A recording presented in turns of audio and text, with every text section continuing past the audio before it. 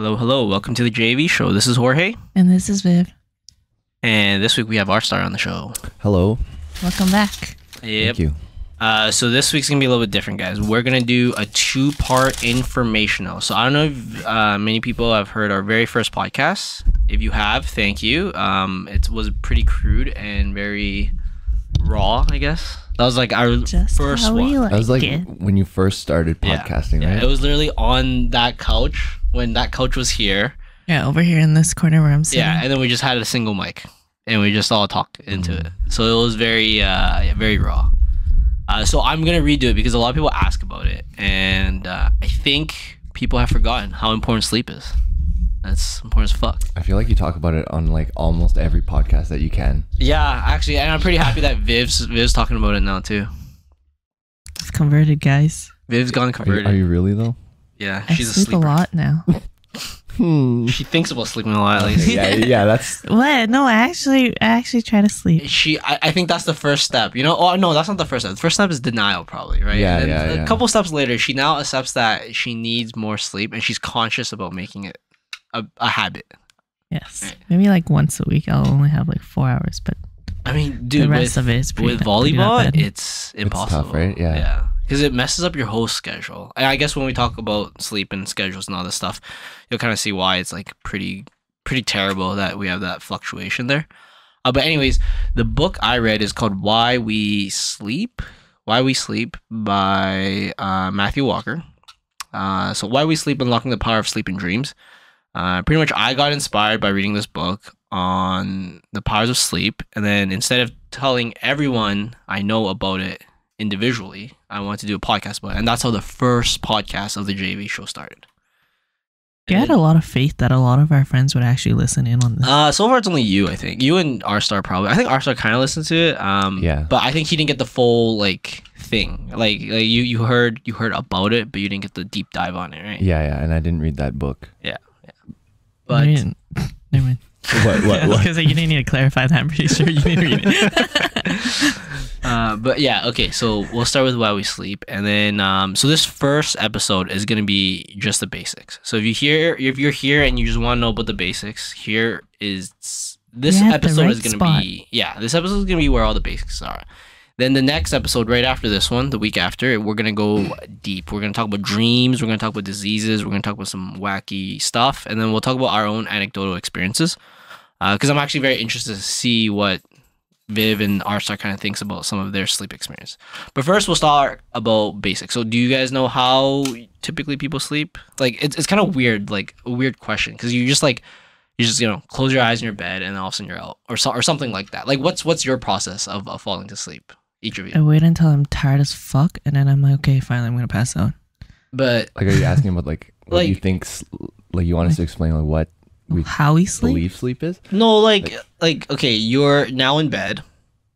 What do you think of? What's the process? What's what's the five hmm. minutes right before you get to bed? What's what do you do while you're in bed, and then how do you actually pass out? Like what what, what is that time frame like for you guys?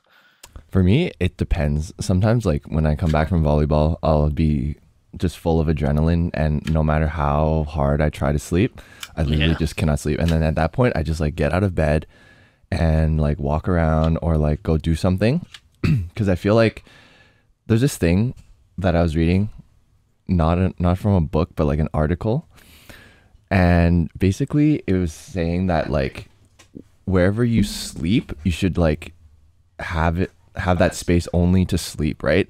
So I try not to like do other shit in my bed. Uh Yeah. like I don't know, like eat and like whatever, right? Cuz or like work, you know? Cuz uh yeah, like some sort of psychological thing. But anyways, so if I can't sleep, I'll like walk downstairs like I don't know, go on my computer, like walk around, find something to eat or something, I don't know.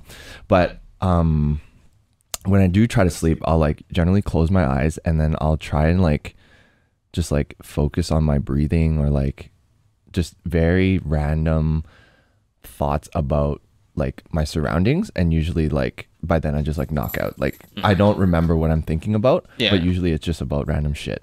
Yeah. If I'm thinking about anything else, I cannot fall asleep. Oh, okay, okay. Yeah, because like your your mind's racing too much if you are thinking about like yeah. I guess semi important things or anything. Like right. That. Yeah. It's like sometimes like if I have like a work deadline or something, like I'll be like, okay, like did I finish this? Like, what's my day look like tomorrow? Then like, next thing I know, and like I'm lay- laying in bed for like half an hour. I'm like, all right, this is this is stupid. I Yeah. might as well just like get out of bed. Yeah. How, how about you, Viv? Mine sounds kind of the same. So do you want to know like my routine? Uh no, Or- not not not completely. Just just just the the couple minutes before and stuff. Like you know. Oh, I like to read like one chapter or one or two chapters, depending on how short the chapter is of a book before I go to sleep every night. And then I will. Does that make you tired? no, like like reading? Because I know some people.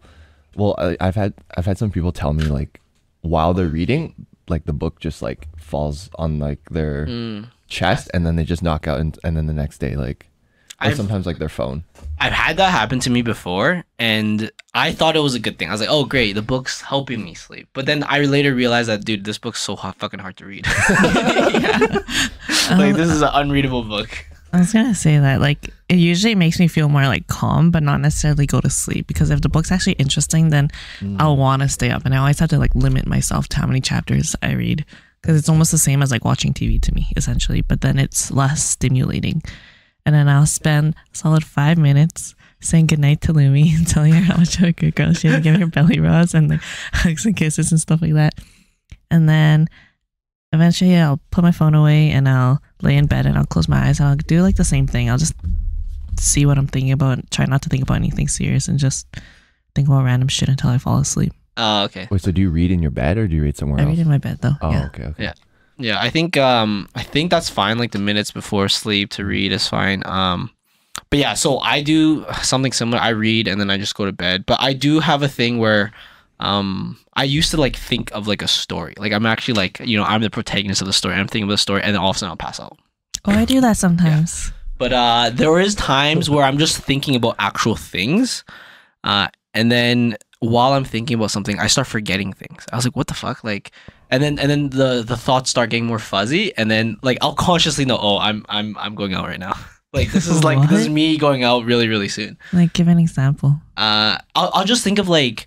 Oh yeah, um, I remember I had to do this thing, and it was someone's birthday, and oh yeah, what date was that? Oh shit, I don't even Oh, like remember you're the date. recollecting something? Yeah, and then and then all of a sudden I was like, oh wait, who's that? What's that person's even? What, what's their last name? Oh, what what card do they even draw? And then all these memories just start getting so fuzzy, and then and then I'm out. Um, Yeah. It, it sounds like you're going down like a, like a huge, like tangent. Kind um, of, yeah, yeah, yeah. Like I'm trying to pull information, and as soon as my brain knows that, like, oh, I can't pull anything. Like for some reason, this this is very known thing that I always know about, like like your brother's name or something. I, all of a sudden, I can't pull that information, and I'm like, oh fuck, I'm I'm. This is like I consciously know that I'm about to go unconscious. That bothers the fuck out of me. Like when you try when you try to like think of something and you're like, fuck, like what is Yeah. the, what is the name of this thing or like what is that? Like I literally will not be able to sleep until I think of that. Mm. Me too. I'm the same. I'll literally wake up and write it down on my phone if I have to to like search this up later. Yeah, I think for me it's fine. But anyways, that was a, a bit of a tangent to the start. But the start is like how people technically fall asleep. There's two things that help you fall asleep. The first is I think something very obvious to everyone is the circadian rhythm. So it's like your body's own 24 hour clock. So your body knows uh, when it's day and when it's night. I think Rstar just came back from vacation, so his is probably fucked up right now.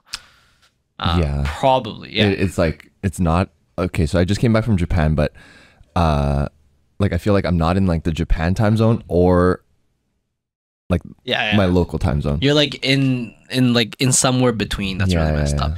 And and and the thing about the circadian rhythm is it's a 24 ish hour clock. It's actually a bit more than 24 hours.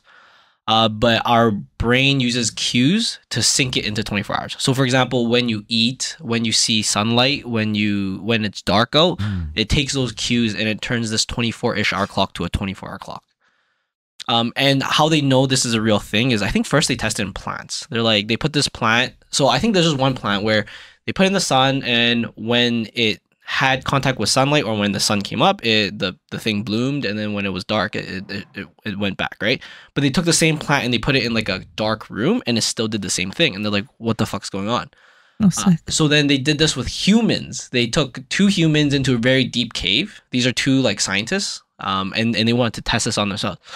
They stayed there for thirty days. So I think there's nothing there but like artificial light, but actually I'm not even sure. Yeah, no, that had to be artificial, artificial light. light yeah. still works. But um, the the thing was, technically, if you're there for 30 days, you wouldn't know when the 28th day is or 28th day is, or when the 27th day is, or when the 26th day is.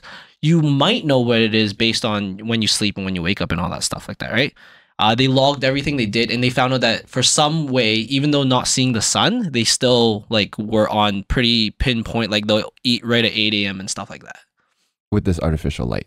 Uh the artificial light wasn't controlling them. They they were controlling it. So like the time they sleep and the time they woke up was following their circadian rhythm which we previously thought was directly related to the the sun but that's just a subset of it. As in like Mm. it's it's in our body. So if there was no sunlight we would still have this rhythm. And and and that was their experiment. If we were to like go away from the sun for 30 days if you do it for three days you can kind of guess how long three days is right? But for 30 days like how do you know when 15th day is and when 20th day is that's kind of fucked up now right Mm. uh, so that's how they found out like oh okay like this is a this is a thing not completely related to the sun it's our own body and then what they did is they measured like temperature blood pressure all that stuff and that is all related to your to your rhythm now. Wait, so I don't understand what the point of the light is. um the light helps cue cue you in so as in um so, So when does it turn on and off, and like what controlled that? They, themselves. No no it's just like you're, you're, you're in a completely dark cave. Oh, like to you have a light switch. yeah, yeah. Oh, like okay, they have some type of artificial light to do stuff right? To like do their experiments and like do tests and stuff. Um but that has nothing to do with Oh, the actual okay, okay. they're pretty much saying with lack of sunlight for some reason we could still figure out how long a day actually is approximately using just our body right?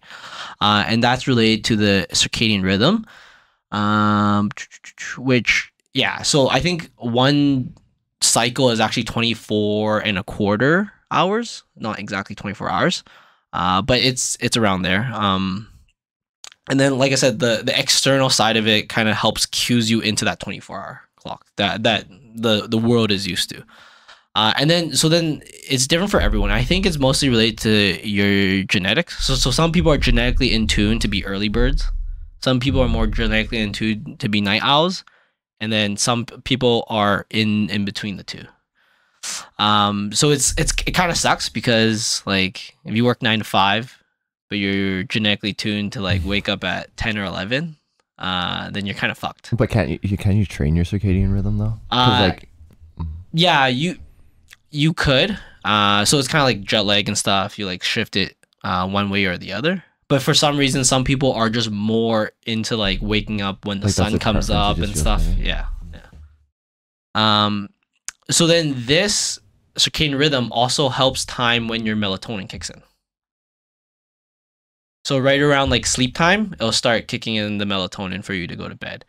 Uh but melatonin doesn't actually make you sleep if that makes sense is that like so i think a lot of like people always think like oh yeah melatonin helps it helps but it doesn't make you sleep so yeah, yeah. melatonin kind of tells your body hey it's time to sleep Like, but start the cycle kind of. yeah thing. but it doesn't say like oh like it's not I- like a sleeping pill. Yeah, Yeah, it's like ex- it makes exactly. you drowsy. Exactly. It's just it's just telling your body, okay, start doing the things that help you sleep, which is like lower your body temperature, um, you know, do all these other things. Your alertness will start to go down, etc., etc. right? Have you ever taken melatonin? Uh, I have not, but yeah, I don't think I have. But like like weed and stuff has it in it, right? What really? Does it have any melatonin? I don't know actually. Wrong person to ask, man. Wait, have have you have you had melatonin? Melatonin? Yeah, I used to take it a lot actually. Oh yeah, I heard, I heard, I heard it can like Really- fuck up your body. Yeah, if you, Yeah. yeah. But I've never taken it. Uh, so the only recommendation they really have in the book and from what I read is like to take it when uh, you're in like traveling. So Oh, to yeah. try to force your body to sleep at the right time. Like to, for short term, right? Yeah, yeah, yeah, yeah. For like fixing jet lag and stuff. Uh, and then one thing is when you go from this is a weird thing. I don't know if you guys ever thought about this, but did you guys know when you go from east to west? What was it? Or when you travel westward, it's easier to adjust than if you travel eastward. Hmm What the hell? Yeah. So so wh- when you travel eastward, you have to sleep earlier, right? Because right now, so say you're going forward in time. Is that? yeah. So so yeah. Well, actually. Yeah, Oh, because shit. because right now it's six thirty ish here in Toronto. It'd be eight thirty, right? Yeah. Uh, wait, is that how it works? If you travel one way, it's fast. It's better. Harder to acclimate traveling from traveling east rather than west. Yes, traveling east is easier than traveling west. Okay, yeah, yeah. yeah. So traveling to Toronto would be easier because, uh, no, no, it'd be harder because you'd be forced to sleep earlier. Right. So it's Mhm. it's harder to force yourself to sleep earlier, but it's easier to stay up late. Mm, yeah. If that makes sense, because staying up late is like an active thing you can do, but forcing yourself to sleep earlier is not an active thing you can do. You can't like your, your body. Your body's sleep. not ready. Not Yeah, ready. yeah. You can't just tell yourself like "fuck sleep, god damn it," right? um. So yeah. The- So that's just Wait, that's So I have a question. So then. Yep. So then, like, if you were to travel from like a polar east to polar west, like on the opposite sides of the globe, would it just be better to just like uh, I'm like get no the idea. travel route? Like, do you know what I'm talking yeah, about? Yeah, yeah, yeah. Like which I, I don't I don't think it matters if you're going from poles to Yeah, pole. yeah. Oh. Because okay, then it's just end end end destination, right? Is it? I don't know. Yeah. Like to travel eastward versus westward? Actually, it'd be better to travel in sync with the Earth's rotation because the It's travel faster. time would be shorter. that's fair. that's what fair, I would that's say. Damn. that that that would be my best guess on that. But I don't think for sleep it matters because you're on the exact you're getting you're going to the same place, just different different way, right? Yeah. So that probably won't matter. But so that's the first thing that kind of helps you fall asleep. Then the next thing is sleep pressure. Uh, so there's a thing in your brain, or there's a chemical called uh, adenosine. And every minute or every hour you are awake, this thing accumulates in your brain. Uh, so you just get more and more of this chemical, and only after you actually sleep that chemical goes away. Whoa. Uh, so it pretty much just it builds up in your brain, and like it pretty much causes you to be drowsy and stuff. And um, when you take caffeine, that's the thing that blocks it.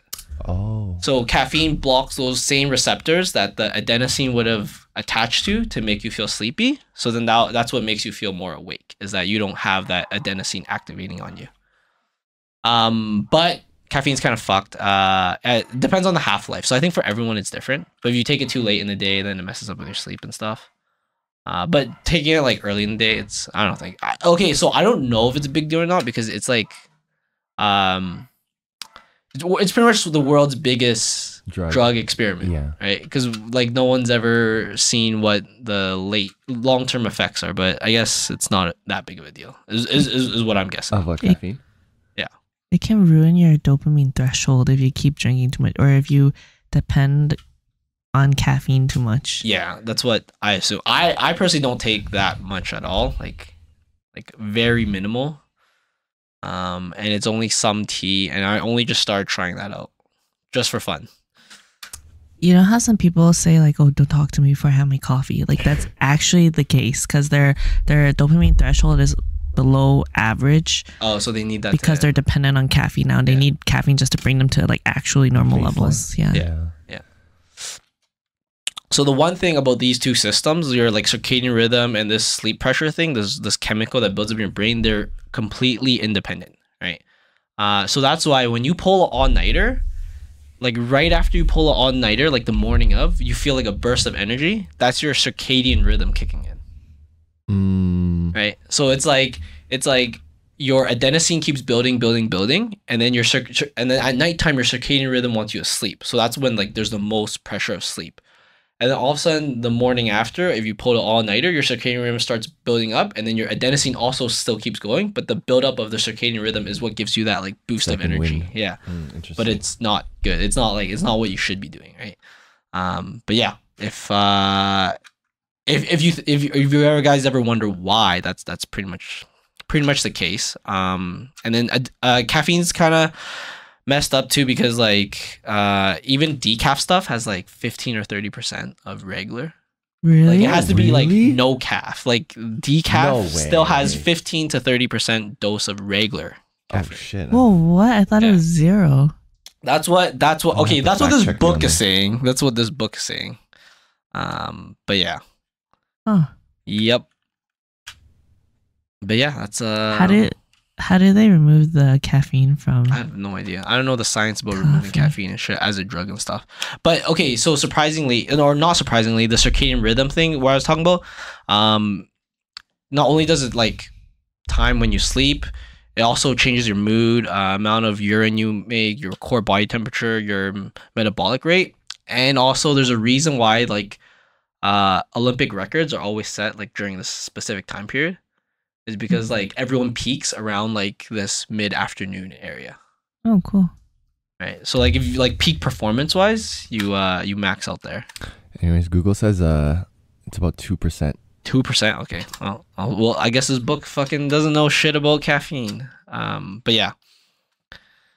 Uh, so yeah, so that's that's why the circadian rhythm also helps with Olympic records and shit. Interesting. Yep.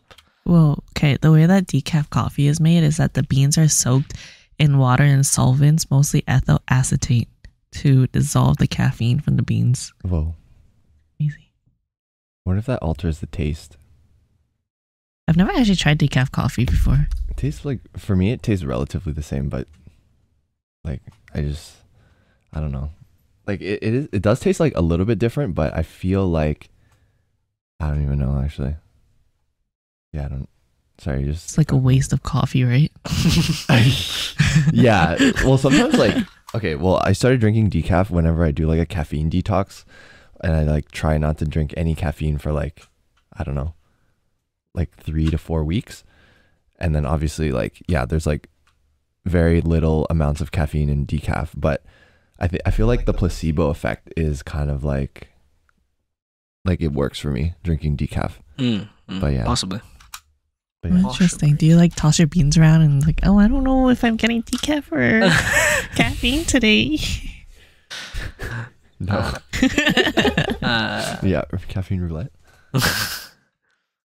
uh, okay, so those are the two things that make you sleep. So as basics, circadian rhythm, sleep pressure. For sure. Uh, so now the actual part of sleep. So there's sleep cycles. Um, the cycles are kind of messed up. So there's no, it's not like creative or anything. So there's NREM sleep. That's non-rapid eye movement sleep. Mm, and then there's Uh, yeah. So NREM sleep has stage one, stage two, stage three, stage four, and there's REM sleep.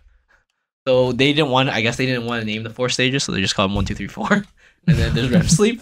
Uh, but they do some different things. Uh, if you guys can see, there's a chart of like how much you get. So usually you get more NREM deep sleep uh, early in the night.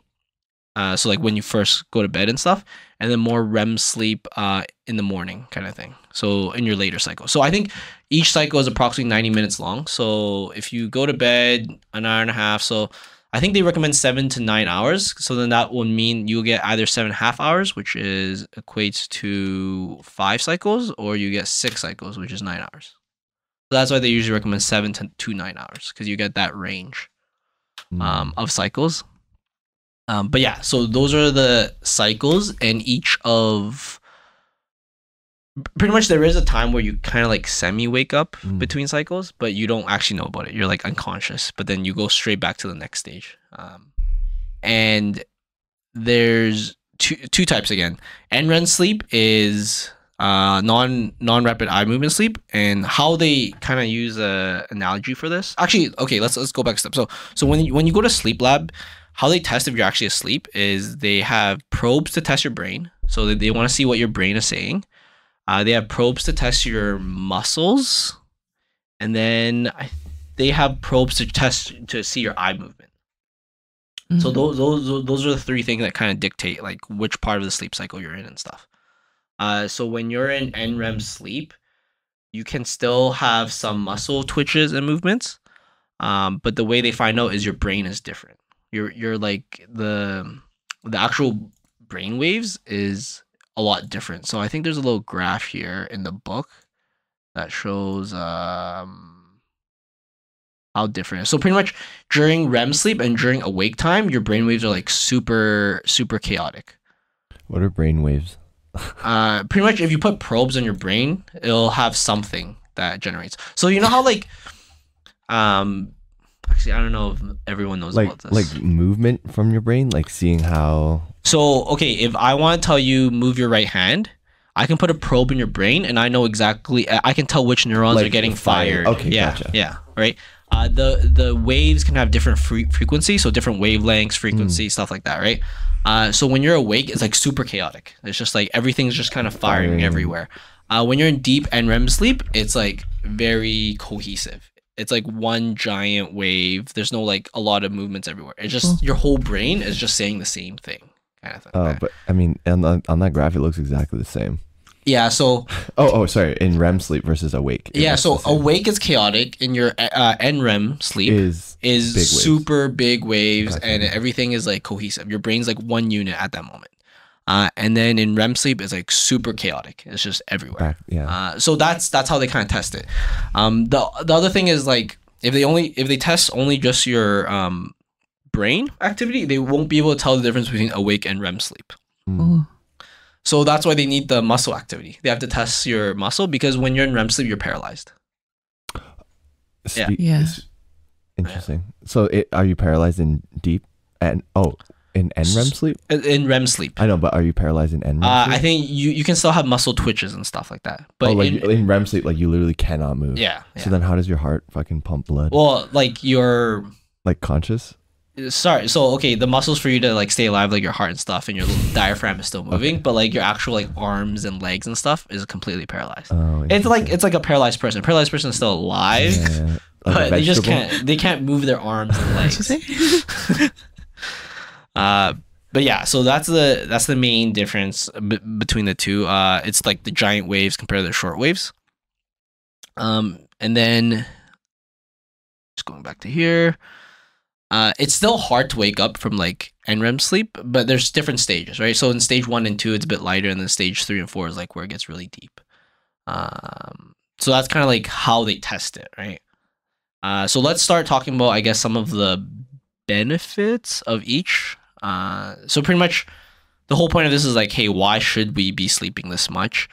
Uh, and and one of the main reasons is the benefits to it. So if you think about it, we sleep a third of our life. So Mm. however long you live, you know, divide by three, that's how long you sleep in your entire life. So typically people are awake for 16 hours a day and sleep for eight hours a day on on average. And if you're a, nor- a normal person, so like there has to be something good for it, right? Um, and there is so first is memory. So whenever you're like awake and you're learning shit, it goes to your hippocampus. And if you guys know computers, it's like the RAM. Yeah. It's it's where you know the random access memory. It's like very easy to get to, and it's just there. Um, but it doesn't. Uh, you don't actually mem- like actually remember in long term memories until you go to sleep. Mm. So they've done tests where uh, a bunch of people like they deprive them of sleep and then they test them on their on their like textbook memory and the people who got deprived got like fucked. Like they're they're I think it was like they're fifty percent worse than For the people long-term. who yeah for Mhm. for long term memory. Um, so pretty pretty much like even I think ninety minute naps and stuff are pretty good for this, but in general, it's it's what helps you um take all this memory from your hippocampus and turns it and brings it to like the back of your brain where So it gets stored. You remember when we first talked about the first podcast about sleeping, where Yeah. you said, um, like sleep is where you like learn, like your muscle Yeah. memory and like all that stuff too. yeah. Would this be the same Uh yeah. part So where you learn it, or would it be? yeah, yeah. It's it's it's pretty similar. Uh so that's in more so deep sleep also. like REM sleep? Uh no, deep sleep is like the stage three, stage four Okay, NREM. okay. Uh, so pretty much this one is you take just your RAM and you put it into your hard drive, and that's what sleep helps you with. So if you don't do it, like if you're if you're trying to remember shit, you're without sleep, it's it's it's not going to transfer properly. Uh, and and they've done tests for this, so like you know control group and non non control group and stuff. Um, but also part of it is um it's like between stages too. So NREM sleep stage two sleep spindles. So that's that's where that's kind of like uh, uh, it's kind of like a burst of brainwave activity between sleep cycles, and that's where some of this stuff gets transferred through. Mm. Um, but for learning itself, and I kind of put this for like m- for for motor skills, um, it turns like stuff you learn into like a conscious uh, into a like a unconscious thing. habit, yeah. yeah, yeah, yeah. So so for this part, it's uh, it's it's kind of what I told you before, where they slow down a sequence. So I think I think the experiment they did is they had a piano and they got a bunch of people to play this like this this note and stuff like that, right? And then um they they also put probes and stuff in their head to see what they're actually doing. I think what they could see is that when you are practicing a probe, you'll do like three notes, skip, three notes, skip, three notes, skip. And then when you're actually uh, sleeping, it replays that, but it goes slow mo and it also syncs it all together. Mm, Oh, cool. so that it makes it more like fluid. Yeah, yeah, yeah, yeah. So that's why like sometimes when you like learn something and then you sleep, you actually reinforce that learning further. Um but yeah, so like that deep and NREM sleep is better for like textbook memory type of stuff. Like you just learn a lot of shit and then you also get this uh motor skill ad- advantage too. Um and and also like I said even short naps during the day help. And that's that's I guess one thing we kind of glossed over is like people nowadays typically sleep like a monophasic way, so we sleep once per per Mhm. day. But it's actually pretty normal back in the day to sleep uh, during the evening and then have a nap like midday ish, like a little bit in the early afternoon. Don't a lot of people in European culture promote biphasic sleeping? Uh, I think it's more of a Spanish thing because it's a siesta thing. Uh, and then in Asia they do it a lot too. And why? Uh, because they can, I guess. It's better for Yeah. you too. like so like, do you sleep less than eight hours at night, and then you chunk it into like, or is it uh, I mean, they'll never recommend not to sleep seven to nine hours. like then- total though, right? Yeah. So like, if you do four hours and then four hours, or like no, six no, hours and two hours. Um, so that nap portion is usually only about ninety minutes. So max. if you take a nap and then like your regular chunk of sleeping, is that considered biphasic sleep? yes, Okay. Yeah, yeah, and it's pretty normal. I think in Asian Asian countries, it's just because it's way too hot.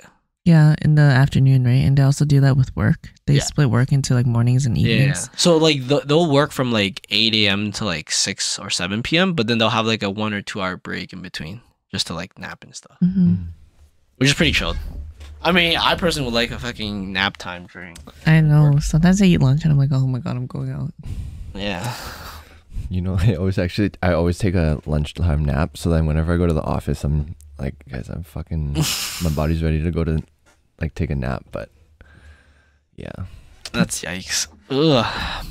But yeah, um so I think they, they did one test and just purely going back to the memory part, um, or learning and stuff, it, it's like twenty to forty percent better if you were to sleep compared to staying awake. Uh and this is just them doing tests on people. Like they pretty much a lot of these tests in general is they'll make them do a bunch of tests. They'll sleep deprive one group and then they'll let another group sleep and then they'll do the same test like the next day or the next couple days later and then they'll they'll just com- they'll com- compare the two right? Mhm. and if you have a large enough sample size you can kind of say yeah that's pretty accurate and stuff. Um so yeah. Uh uh and then i was gonna say uh, another one had a I- I'm just trying to read up on the study right now of what other studies they did, but uh, I don't think there was much other than that. Uh, one weird thing they did find out from some of these testing is that for some reason, if you rock the bed, you get like a more deeper NREM sleep. what? Not like sex, but like like if your bed's physically swaying like a cradle. Uh, for some reason that like enhances your deep sleep even further. interesting. Yeah, I was like, I, I put that down as a fun fact, as a random one. I need some help getting some deep sleep, guys. I mean, I don't think they do. I, I wonder if that's why waterbed used to be a cool thing. they felt weird. Have you ever slept on a I waterbed have. before? I have It is not. very weird. It Yeah. hurts my back. Oh, really? I I feel like it hurts my back. Yeah, you don't feel stable, right? Yeah. Like sometimes, okay, and this might be me. Like growing up, um, like I used the same mattress for like a big part of my teenage years, and that mattress was kind of like passed on from like my parents from like a long fucking time ago. So like they tell you to like replace your mattress like before uh, like every 10 years or something like that, Yeah. right? yeah. Um, so anyways, this like this mattress that I've been using when I was a kid was like super super old, and then I always like sleep in the same spot, and then at one point, like near the edge of like I always sleep near the edge of my bed. I don't know why, but then at one point, like it started kind of like slanting, and then I swear it started like fucking up my sleep because like I it wasn't fully Yeah. stable, and then yeah, like so that's also why like I feel like the waterbed wasn't really stable and that's why I like feel like it was so uncomfortable and like it hurts to sleep on a waterbed. I get what you mean. At my grandparents' house, there was a bed I would sleep on a lot, but then the uneven part would be right in the middle. Oh, And I would love that because I felt like a little nest like you and just everything. get Yeah. in, huh? yeah, yeah. Uh, okay, so some stats I want to throw out there. Again, I, I think because a lot of our friends play volleyball, but this again goes back to the whole, let's say, let's call it muscle memory thing. Mm. Uh, It's not really muscle, like your muscle doesn't memorize anything, but when stuff becomes unconscious, unconscious, it like becomes smoother, right? Mhm. Uh, so what they did is they took a bunch of right-handed people, they played a sequence with their left hand on, on the piano. So both group got to practice this for 12 minutes. Okay. Uh, one group stayed awake for 12 hours, then performed the sequence. Another group slept for 12 hours, then performed the, the sequence. So pretty much one got, you know, tested in the, uh, pr- practiced in the morning, and then in the evening they, they tested it. And then another group t- practiced in the evening, and then went to bed, and then practiced it the next morning, right? Uh, the group that slept had 20% increase in performance speed. So that means they're playing it 20% faster. Um, and they also have 35% increase in performance accuracy. So they're actually hitting the right notes at 30 for 35% uh, 35% better. Um, and then they said that they tried it with long sequence, with short sequence, and with either hands, and it's the, pretty much the same thing. They're, they're saying it's not related to the hands, and it's not related to the length of, of this of the sequence. It's just related to sleeping and not sleeping. Damn. Um, yeah, yeah. So and then again, it goes back to like, hey, wh- while you practice it, you practice like three notes, three notes, three notes. But then when they actually played it after they slept, it's like one smooth uh transition. So yeah. Uh, and again, so they're saying that this comes from stage two and REM sleep. So it's like, uh, so they kind of talk about spindles a bit in this, and it gets kind of like more theoretical and stuff. Not not theoretical, but a bit more scientific. Wait, what's a spindle? Uh, so like between stage two sleep, I think like if there's like a brainwave that comes from the up and then comes down on the wave spectrum, oh, the spindle has like a bunch of like weird little um vib- vib- oh, vibrations that come down. describe a wave. Yeah. Um, and that's what kind of show. And apparently, if they can figure out how many spindles you get, they can figure out how well you how well you would be at performing this thing. Oh, cool. Um, and then so then they also did like a crazy meta analysis. So they're saying that if you don't sleep enough, you get ten to thirty percent faster to um, or you significantly reduce by ten to thirty percent your muscle strength. Uh, you increase your lactic acid buildup, uh, reduction in blood oxy- oxygen saturation, um, and you have a higher risk of injury. So pretty much what meta analysis is, they just took a bunch of other analysis that did a bunch of stuff. So they took like 750 other studies and they just summarized what these studies are all saying. Hmm. Um, Interesting. So I don't know, like that's I guess one of the theme of the book they're saying is like don't take like steroids and stuff. If you can get 10 to 30 percent enhance in performance, it could be from sleep instead of just roids. Because like if you if you told like if you told an athlete you could get 10 to 30 percent enhance uh, performance, that's the same as like or that's better than how steroids would work for them. Do you know what the percentage is for steroids? No, I have no idea. But like that's a significant one, especially at that level, uh, like pro athletes and stuff. But then they would just do both, right? Probably. to be perfectly fair, probably. Um, but yeah, I think like a lot of like teams, like professional teams, actually hire like sleep doctors and now and stuff for their for their players to make sure they get optimal sleep and stuff. Um, but yeah, it also helps with like uh, physical recovery from inflammation. Uh, helps with like muscle repair and stuff like that.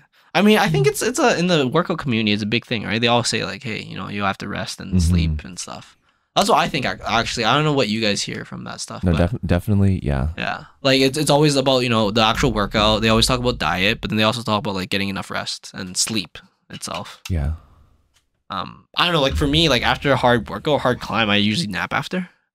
Uh, like I just like immediately after? no, not immediately after, but like like I'll have a meal and stuff, and then I'll feel so physically drained. I'm just like, fuck, I'm just gonna take a little nap and stuff. Mm, yeah. Sometimes I feel like I have too much uh, adrenaline or like excitement after I finish. like doing right right too. after, yes, but like an hour after, like after you eat and after your core body temperature also cools down, it's like a very natural thing to do. Oh yeah, it feels really nice. Sometimes Yeah. I sit in my car and I just chill there Yeah. because it Mm. feels really nice. Um. Okay. So, uh, what's the sleep and focus thing? Uh. Okay. Let's just talk about sleep and I guess it's related to the sleep and deprivation. So some scary facts. Uh. So stats from AAA. So they're the car whatever thing in in the states. Uh, if you have less than five hours of sleep, you risk your risk of car crash is increased by three times. at four hours of sleep, your risk of car crash is 11.5 times. So it's like exponential. It's not like the less sleep you have, just just worse it is. It's ex- exponentially worse.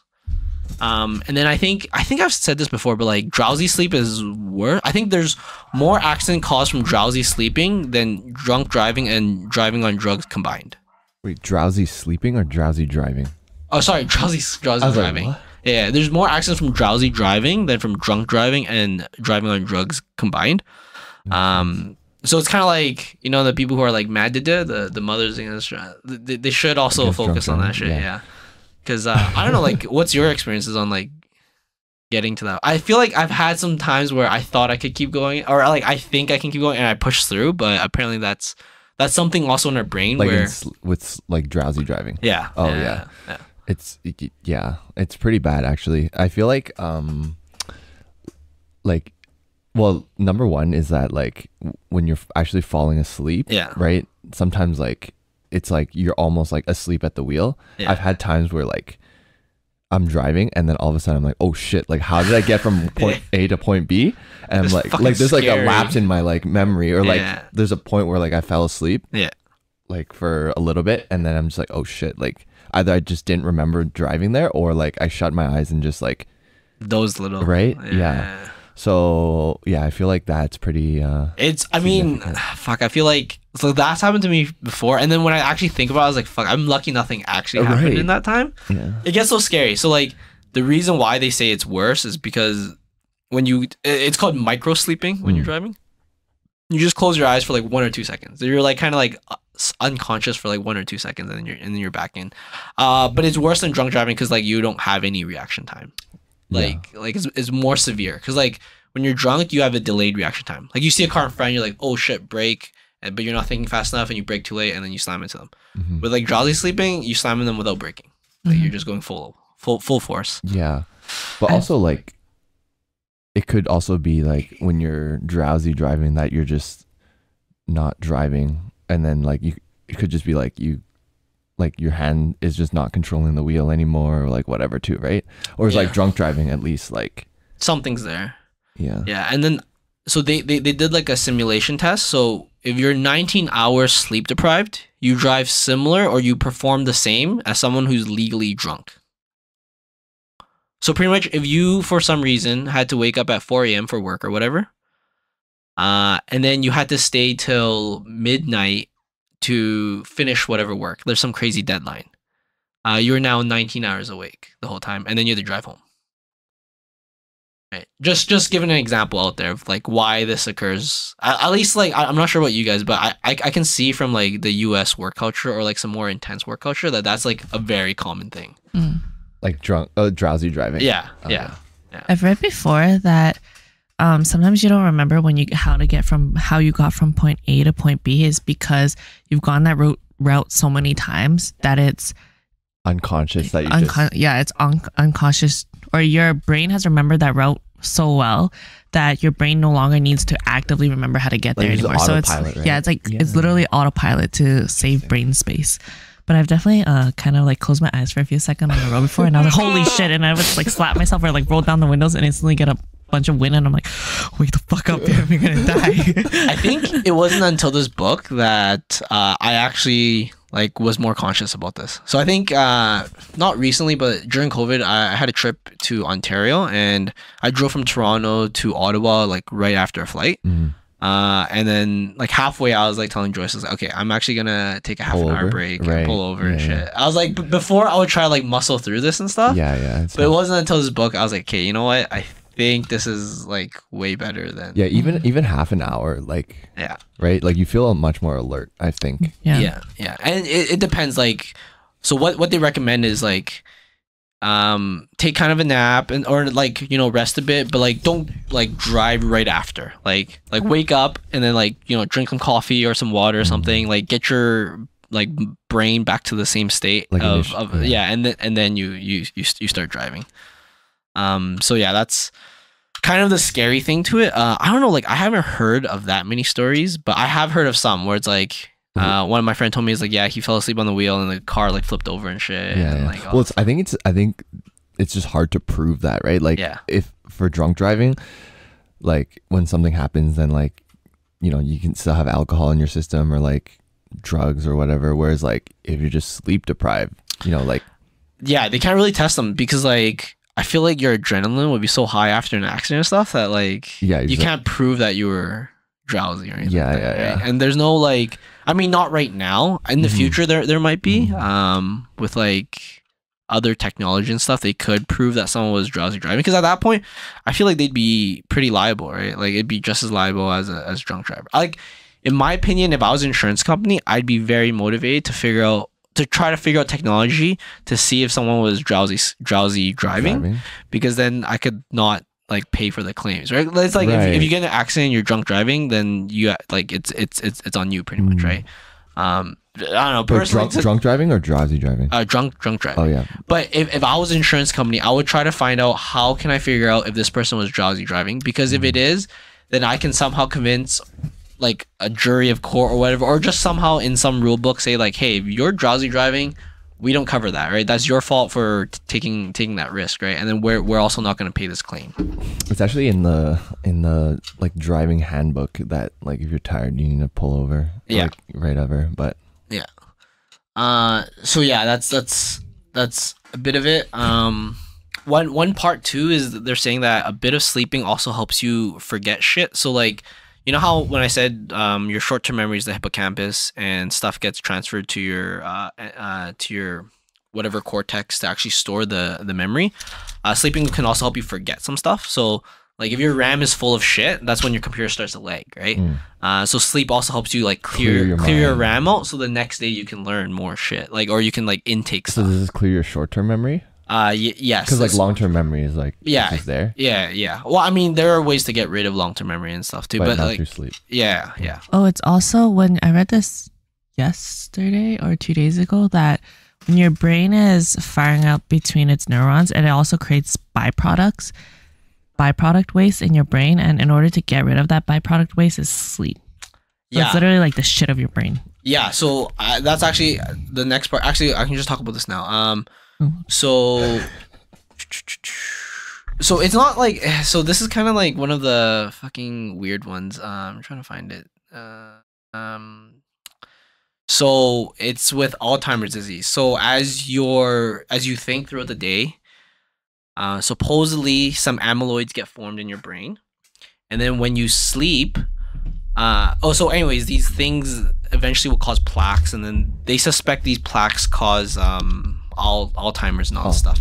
Uh, it's not like so. Okay, the one problem with this is also there's this one study about beta amyloid, and I think it was just three years ago that they found out that this study was uh, disproven because they found out that the person who like posted the study doctored the the photos and then that was 10 years ago and all these companies made drugs just to re- reduce beta amyloid but they're now they're not even sure if beta amyloid is the cause of alzheimer's all this stuff.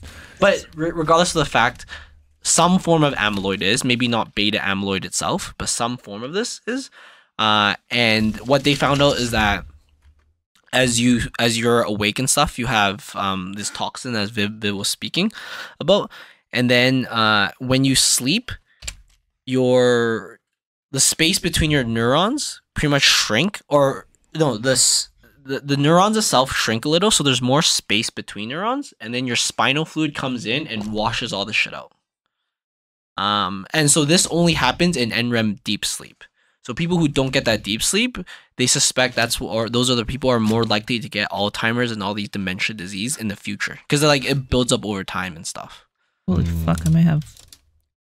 You might have Alzheimer's. Yeah. I mean, a part of it is genetics, but part of it they think is also like caused, like it's caused from people From bad habits? Yeah, yeah, exactly, Yeah. oh exactly. shit. Uh, so like for me, that was one of the scariest things because like in my life, I feel like that's one of the scariest diseases. Uh, Alzheimer's? Yeah, 'cause And it's- dementia. Yeah, yeah, yeah, those type of things. Because like I see, like I've seen like old people. I've worked at like senior centers and stuff, and it's just so sad. It's just like yeah. they're not functioning anymore, right? Yeah, like yeah, it's yeah. definitely something, something in the world or in human reality that wasn't supposed to be the case.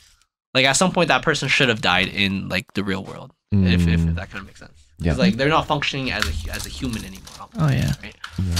Um, but yeah, that's uh that is one of the case. Uh, sleep and Alzheimer's and stuff. Wait, can I ask you something? Can you Yeah. go back to the other slide, sleep and focus? Sure. So lack of sleep can cause major emotional swings on the negative side, cause depression. So what? And then on the last one you wrote on the positive side can cause addictions. Yeah. Uh, let me find Is addiction positive or like what?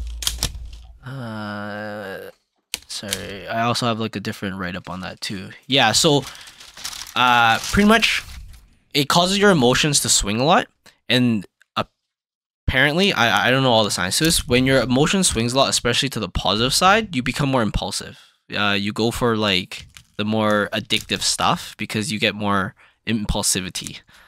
Uh, so what they did is they studied two groups with 100 pictures with varying emotional content. Uh, the group that was sleep deprived had a 60% increase in their amygdala response to these emotional content. Um, so like this amygdala is also responsible for our anger, rage, and also our fight, fight or flight response. So pretty much it's saying like you have more instinctual um, work to it instead of using your pre prefrontal cortex, which is more logical and rational. So like no, normally your brain uses both, right? But your your prefrontal cortex say like, hey, don't don't jump off that bridge, right? Like it's like the logic side, whereas your amygdala is just telling you very not random stuff, but giving you like fight or flight shit, right? Mm. Um, and it's more of the em- emotional side. Mm. Um, yeah. So then they're they're saying that this is uh th- this correlation it could cause because you know so, so- some people might think like going on the good side or the the or pretty much what they're saying is being more emotionally sensitive is not good because one you're mo- you're more likely to have a cause of like de- depression and stuff and like the sad side of it but then when you go too far on the other side you're you become more in, more Im- impulsive so like if you swing too high or low one way or the other it's it's not it's apparently not good So if you get a lot of sleep, you become more impulsive. you get too little Oh, okay. yeah when you lack sleep you become more emotional When you lack Uh, sleep, you become more emotional. yeah Okay. I mean yeah you have more major emotional swings sorry Oh. That makes sense because you're more on edge, right? Yeah, yeah, exactly. And you're more on edge because your fight or flight res- uh, system is more is is pretty much firing up a lot more. Interesting. Yeah. And then okay, so another thing they they were trying to test is like what is considered lack of sleep, right? So like when when you say lack of sleep, people are like thinking like okay, you're sleep deprived for X amount of time, right? Uh, so they did like a response time test with uh, with with people that have amount of um, lack uh, or however long they lack sleep, right? So first their their control group was uh 14 days of normal sleep, so eight eight hours a night, and then they just did like a re- response time, just just a basic like thing. Uh, and then one group, group two, or okay, let's say one of the groups they only had six. Only, sorry, one group only had four hours of sleep every night. Um, after six days, they had the same results as someone who was sleep deprived for one whole day. That means if you sleep four hours every night for like a week, you're pretty much like your brain state's the same as someone who's like stayed awake for for for entire night. Mm. Oh, shit. Um, if you sleep only six hours a night, after ten days, your brain's like your response time is the same as someone who stayed awake for an, an entire day. Uh, so it's it's kind of crazy because a lot of people sleep only six hours a night, right? And if you do that for like two weeks, your brain's pretty much in the same state as someone who's pulled, pulled an all nighter in, in in in terms of reaction time. Oh. Right. Interesting. So like purely reaction time. Um, Says a lot. yeah, yeah, that explains a lot sometimes. the the other thing is that so all these days I was talking about, uh, talking to you about after three days of sleep recovery, so it's like sleeping normal for three nights, they still didn't reach their baseline yet. So it takes like long, like pretty much one you can't really catch up on sleep, as people say. Um, but even if you try to catch up on sleep, it's not as simple as just sleeping more on Saturday and Sunday. It's like diminishing. Yeah, Yeah. yeah. Um, Like you basically only time can kind of like reset you Yeah. to baseline. Yeah. Yeah, that makes Yeah. sense. So yeah, eh, again, so like I'm not saying this is the same for everything, but when they test response time, so let's say your volleyball response time on or something like that, that's that's how it could correlate, right? Um, Should I need to sleep more?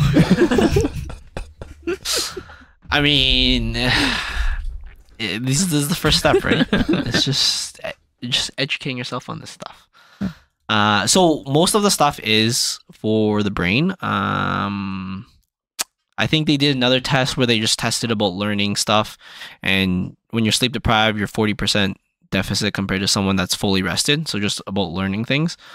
Um, I think the test was kind of weird too because they like a lot of these tests they do a lot of ra- not random stuff but they try to make sure it's not related to you just being sleep deprived. So what they'll do is um, they'll have two groups. Both of them will learn. One group will sleep normally for like three days and then they'll test them on the thing they, they taught them. Then the next group they'll learn something they'll sleep deprive them for one night then they'll let them have two nights of normal sleep. So like you can't blame the sleep or you can't like think that it's just because of the like you being awake is what's making you uh like not re re Mhm. recall what you learned um but then after those two days they still lost 40% of of of what they actually learned Interesting. yeah. So like they uh, like pretty much what I'm trying to say is like the book talks a lot about uh, a lot about different studies and they go into details of all these studies and a lot of the studies they try to like make it as fair as possible or they try to even give the advantage to the sleep deprived a bit just to see exactly how bad it actually is.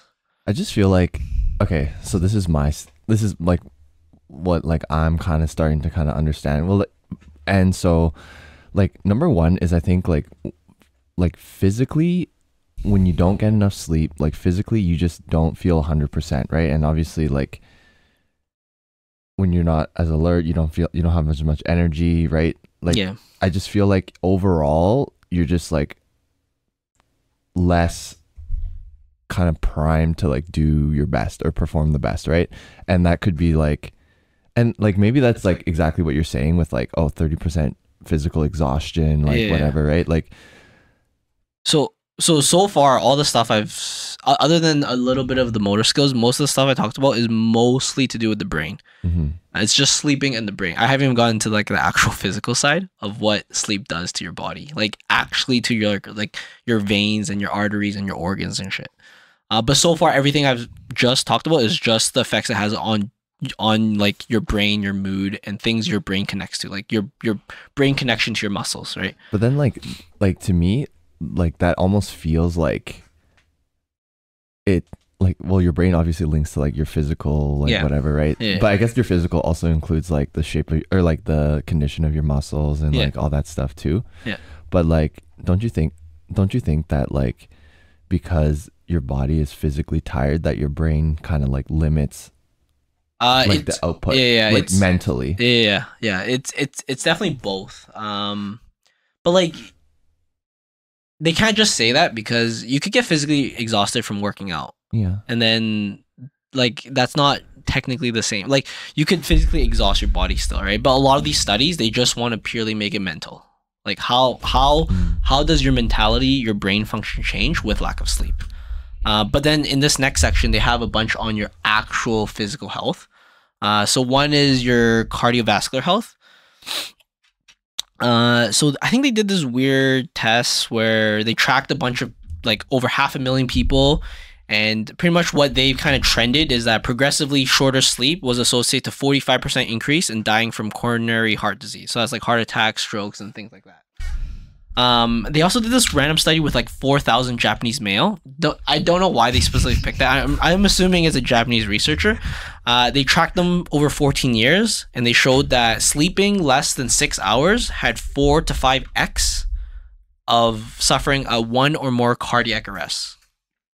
Oh shit. So this is over like over over 14 years, but like I guess that's a little bit limited because that's like Japanese. the- the- Like some critics will say, "Oh, that's only Japanese Genetics and male and all that shit." But uh, there was still another study that did like over half a million. Um, and I assume they try to like standardize all these studies quite a bit. Like they try to standardize with like age and with like uh like if you're a smoker and all and all this stuff. Um, so they do do that. Um, but pretty much what happens here is it goes back to your sympathetic nervous system. So that's like your fight or flight response. Uh, when you sleep, your sympathetic nervous system actually gets a time to rest. Um, so like normally if you're in a relatively relaxed state, your sympathetic nervous system isn't like that intense. Mm. Um, but when you're in like deep sleep, it gets even more relaxed. So like right now, like I'm not really nervous when you guys are going to punch me in the face. Like the chance of it you is, sure? like you shouldn't be? the, the chance of it is like one percent, right? So therefore, my sympathetic nervous system isn't that like worked up, right? Mhm. For example, if I was like, I don't know, downtown Edmonton at like you know midnight or something like that, with a lot of like random ho- like hobos or homeless people around me, then my sym- my sympathetic nervous system is a bit more uh, worked up, right? Because I have like a fight or flight response. Um, the thing about lacking sleep is that when you don't get into that deep NREM sleep, your sympathetic nervous system never actually calms down. Uh, I feel like it, and I, I don't know this like 100%, but like I think is it they're like inversely related between your sympathetic and your parasympathetic, right? Like sympathetic is like your fight or flight, and then the parasympathetic is when your body relaxes.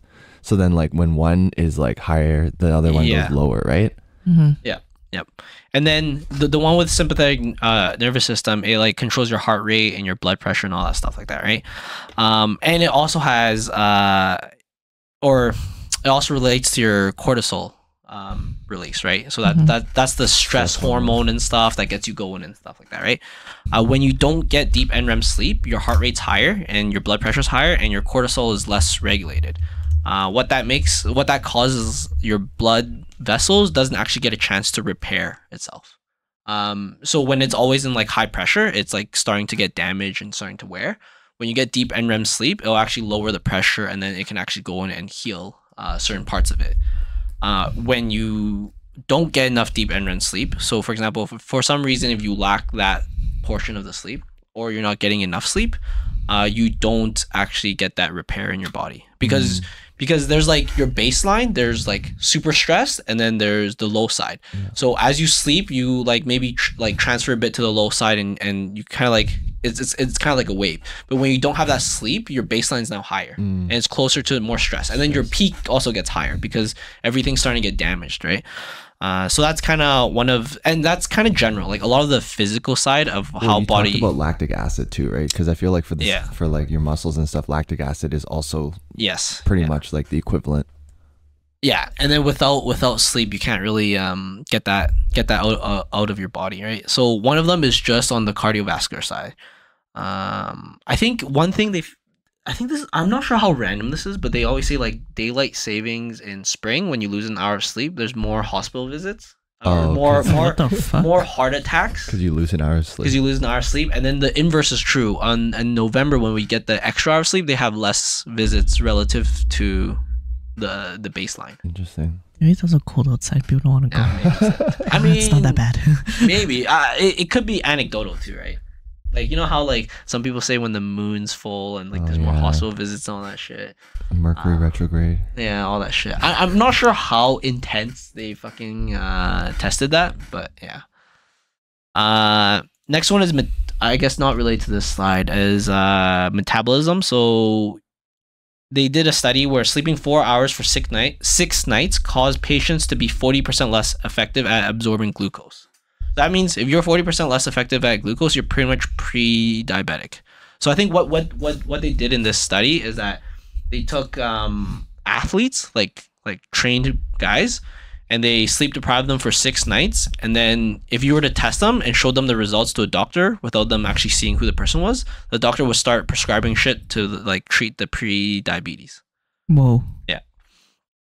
um, pretty much when you lack sleep there's less insulin release and the cells themselves become un- unresponsive to to insulin um, again this goes back to cortisol i think because you're in a more stressful state your body wants more blood in the sugar so if it needs to use it to like fight something it can activate that or it can access that sugar more. But that's normal if you're in a fight or flight state. If you're not in a fight or flight state and that stay at stays at a high level your body gets used to having more sugar in your blood and then your cell starts to not absorb it as as normally Or yeah. so then that causes diabetes like i, I like it, uh, i think it's pre- it's it's it's, pre- it's pretty logical right like if you want to fight something your body's like saying okay uh, you know fat in the cells start producing all these glucose let me get ready to use as much energy as i can How do you think this relates to people who have a sweet tooth? i don't think it does I don't know, Um, because like every day I have like two periods in the day where I'm like, I want. So dessert. I don't think diabetes causes you to want more uh, Or sugary like sleep foods. and sleep and like the lack of. So it could be your mood swing that causes you to want to be more impulsive uh, when you're when you lack sleep. But I don't think diabetes makes you want to eat more sugary things. So what, what about what about like stress eating, like increase in cortisol? Well, actually, I don't know like what causes stress eating, but definitely it seems like it's a common thing, right, for people to stress eat. yeah. So you think it's like related to like the higher cortisol levels making you want to eat more? Uh, it, so it is related to sleep. So when you lack sleep, so if you, I think they did one study where they slept four to five hours. There's decrease of leptin hormone in their body. So leptin makes you feel full, and then there's increase of uh, ghrelin hormone, which makes you feel hungry. So when you lack sleep, you actually get like you have more hormones to feel hungrier, and you have less hormones that make you feel full. Uh, so I think what they did in this study is they had a group again, you know, control group and then the the normal group. The group that was, uh, or sorry, the, the the group that lacked sleep. The group that lacked sleep ate 300 calories more each day compared to the control group. I, I think they did some like um, buffet type of thing, and then not only did they eat more calories, they also ate less healthy foods. So like they ate more of the donuts and the high fat, high sugar foods. The donuts, Interesting. Yeah. interesting. Yeah. So so there is a there is a like a a call not I guess not exact causal, but there is something like that. So I think what they did in the study is they did four to five hours, and if you equate that to 300 calories more each day, you would gain about 10 to 15 pounds per year, Damn. Damn. uh, just just from lack of sleep. Um, also, when you lack sleep, you have increase of endocannabinoids. Uh, so that's the thing that makes you feel the munchies and makes you crave for higher sugar, higher carb food.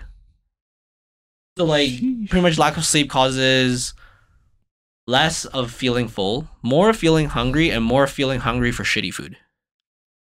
Uh, that's kind of like the combination of things.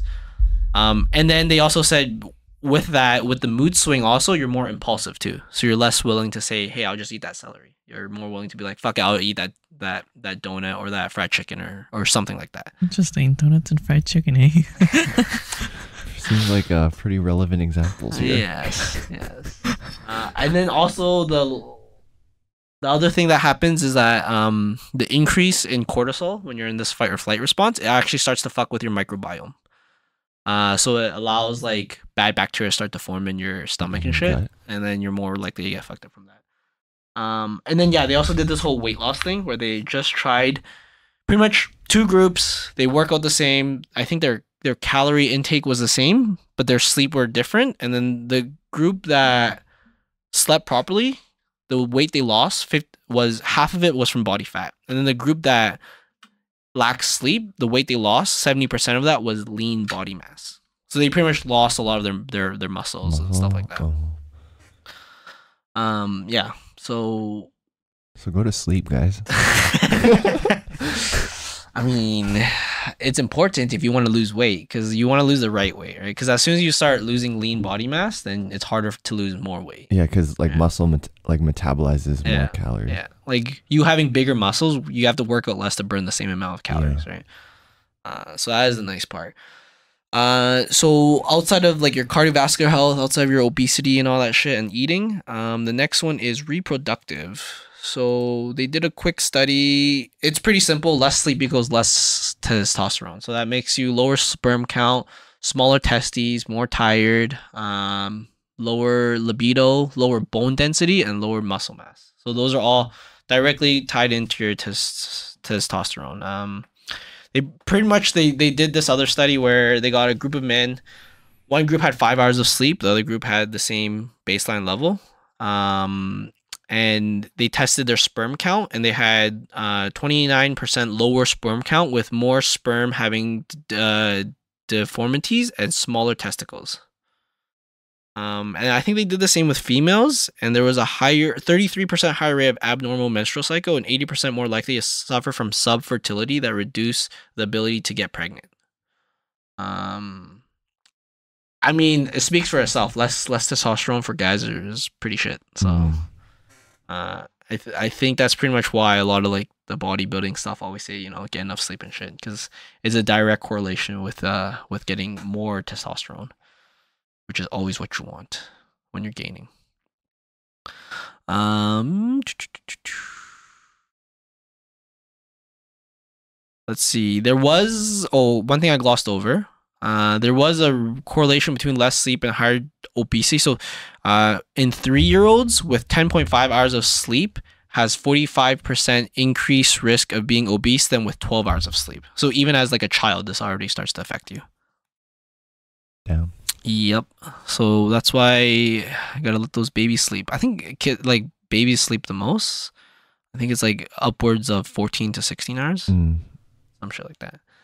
Um, so the next one I have for the physical effects. So pretty much what I'm trying to do right now is just build a case for like why you should sleep by giving you all the bad shit and a little bit of the good shit, but a lot of it is the bad stuff, unfortunately. Um, they did a really weird study for the immune system one. So what they did is they purposely got people sick. Uh, they pretty much got some type of virus and they shoved up their nose. Uh, and then the group that lacked sleep were 50% or had 50 50% higher chance of getting infection compared to 18% chance uh, if you had 7 plus hours of sleep. So pretty much if I stuck a like a swab of virus up your nose, you may or may not get sick. Hmm. If you lack sleep, you're you it, it's, more it's, likely. it- it's pretty much a coin toss, right? It's it's either heads or tails. You're either getting sick or you're not. Uh, but if you get seven plus hours of sleep, you're 18% chance of actually fighting it off before you actually get sick. And then the other thing is this works even more with uh, getting vaccines. So when you get like a vaccine shot, if you lack sleep, you have was it uh, pretty much your body won't react to the vaccine properly. Um, it won't actually. It's it's not that you'll get sick, but it won't build the proper antibodies for that. Uh, so pretty much, if you were to lack sleep and you took a vaccine dose, you are pretty much fucking up that dose. Like that dose isn't gonna do as much for you. hmm Um, and then the last one is like the killer T cells or something, or killer cells. There's like a natural killer cells that kill like malignant tumors. Like there's always tumors growing in you and shit. Uh, I don't know if you guys ever seen like a dead body, like a cadaver and shit. There's always like a lot of tumors and stuff. Mhm. Um, when you lack sleep, you decrease these tumor killing cells by seventy percent. Um, and then so if you have six hours or less of sleep, you have a forty percent chance increase of developing cancer just I think that's just very like high level fucking stats that they use. Um so again the reason so like this is like what like the results from their test but the reason why they're going back to it, they're saying that um when you're in a more fight or flight response your body's more inflamed. Hmm uh, and when it's more inflamed, your your your uh, your natural killer cells doesn't actually kill the bad shit, and it also feeds the tumor cells more. Um, then that will damage the DNA of the cells around it, and then it'll cause it to like break apart. And then once your tumor, if it's if it's actually like uh if, if it's if it's malignant, so but pretty much but benign tumors are tumors that don't do anything. Uh, malignant are the ones that actually do stuff if that breaks apart from where it is, then it starts to spread, and then you're pretty much fucked from that point. Um, and then the last part on your physical body is your genes. Um, it's pretty simple. I don't think like it's very good correlation. So pretty much what they test is the the uh, the telomeres of of your genes. Uh, that's the thing I've talked to about before, where it, like shows you what your biological age is. Uh, when you lack sleep, your telomeres pretty much get fucked up. Uh, so it pretty much shows that your body is aging um, further than what it actually is when you when you lack sleep. So pretty much that's the case that they've built in this book of like, hey, why should you sleep more?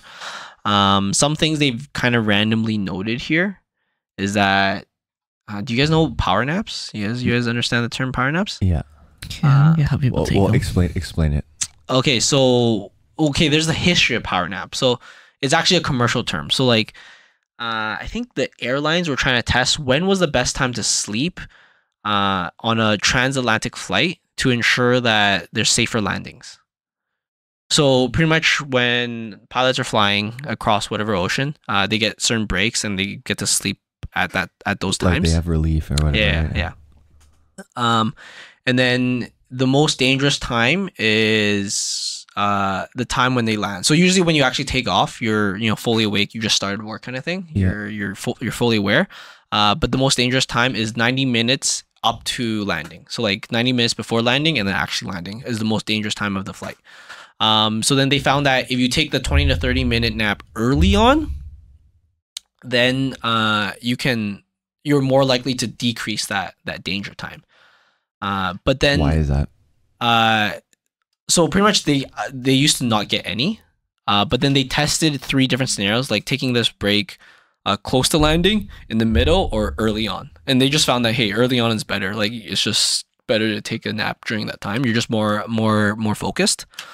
Um, but then the like execs and stuff didn't like whatever terminology they gave, so then they gave them the term power naps, uh, because it sounds more like military, like like more like America, right? And then uh, a lot of people use that as like an excuse now, which is not good. Like they use that excuse of like getting only four four hours of sleep. They'll take like a power nap during the day, but like that doesn't actually do much if you're only getting four hours of sleep during during the night. Uh, so that's just one thing they glossed over. They're like a, a lot of apparently a lot of Americans kind of use that as like a substitute for like getting actual proper sleep. Uh, but Power nap's supposed to be only 15 minutes, right? yeah, Like uh, 15, 20, 20 to 30 Yeah. minutes is, is kind of what they put on there. Oh, I see. I mean, it's not like a fucking coin thing. It's not like an exact thing. I think I think the it's supposed to be like you don't you don't want to get into REM sleep because that's what makes you most tired and groggy when you first wake up. So then you want to nap, for only X amount of time. yeah, so that you don't hit the REM sleep. Yeah. Um, But it's a, it's it's weird too because like for that it's not even up to them. So like if you keep waking up very early, so if you're not a normal um early bird and you force yourself to wake up early, say like you normally should be sleeping till like 9 or 10 and you force yourself to wake up at 7, you lose the most REM sleep.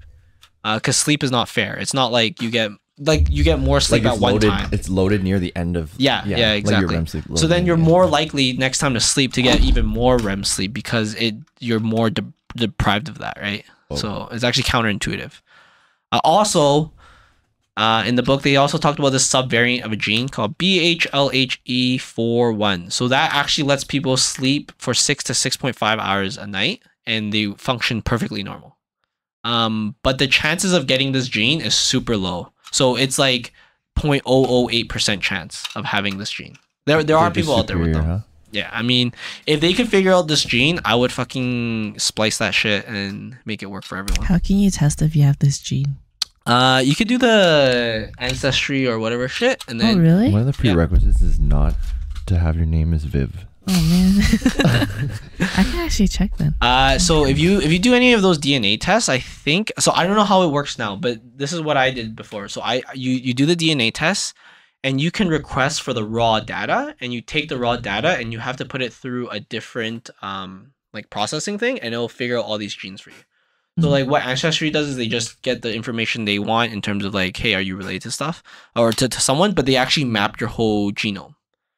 So they actually, I actually, I'm not sure if it's the whole, but they they map a bunch of your genome, and you can use that, and you can put it through a different processor to find out what genes you have. Uh, and it's actually quite cool. I think it should be done for everyone because you can find if you're like more likely to get a certain cancer, or if you're more likely to Yeah. do a certain thing, or or if you're more likely to um have some superior or inferior genes of some sort. Uh, so yeah. Interesting. I Yeah. did a 23andMe thing. I'm to see if I can find that. Yeah, so I I have it. It's actually a, quite a big like I I think when I picked it up it was just a text file, but it was a really big file. Like Oh, your your genome has I mean all, uh, like to people in biology they're probably like yeah that's obvious, but it's actually quite a big big file. So they have a lot of information there. It's just that they have to use uh computer software to figure out what's what. hmm Um, and then I think nowadays they use AI for that shit too, because AI can uh, AI can find these patterns a lot faster. Yeah. Um, but yeah, pretty much you can run that through if you were curious. But the chances of you having this gene is the same chance of you getting struck by lightning.